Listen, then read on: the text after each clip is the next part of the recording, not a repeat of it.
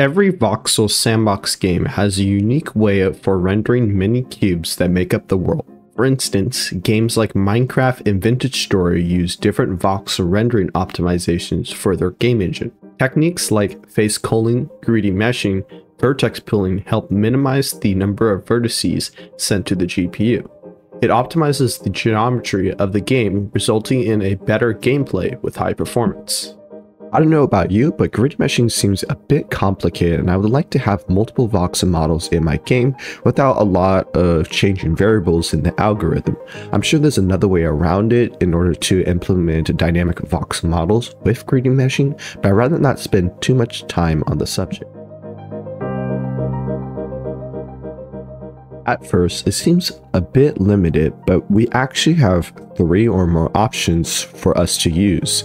First, we can use face culling, which is an optimization that Minecraft Java uses, but obviously doesn't work well because the game sort of lacks in performance and has some rendering issues. It is also known as vertex pushing in OpenGL, which we send the data like position and texture coordinates down the rendering pipeline per vertex.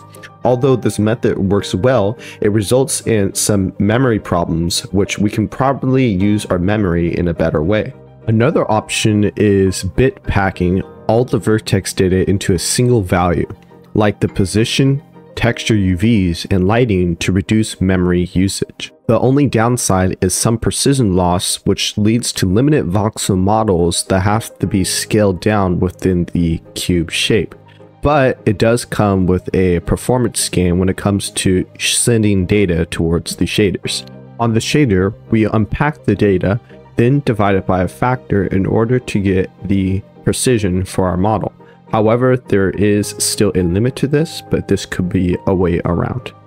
Now, this method works, but the only downside is I would like to have my game engine support multiple models and to load them very easily from the file or whether hard coded in the game. Now, you can use this technique when it comes to optimizing your memory usage, but there is a precision loss when it comes to uploading floats for your models in your game. Of course, unless you guys find the way to retain the precision of your models, please let me know in the comments below. Our last option is vertex pulling, which we can use efficiently for our voxel game. This is probably one of the best methods that I've implemented into my game engine for uploading dynamic voxel models. This is done by using an OpenGL shader storage buffer object or SSBO. I will have a link in the description if you guys want to check that out. To make things a little bit more easier, we could compose two different buffers, shader storage buffer objects for our voxel data. In my shader code, I use a face buffer for all the quads and a model buffer for all the voxel models like UV coordinates and vertex offset. In the shader code, we can access a specific vertex by using the GL vertex ID attribute in order to pull data Instead of specifying all the vertex attributes per vertex, we can only upload what is needed per face and on the shader, use the index to grab the data which is needed to create the quad. Be sure to check out my latest Voxel devlog if you want to join our Discord server, link in the description. Have a good one everyone.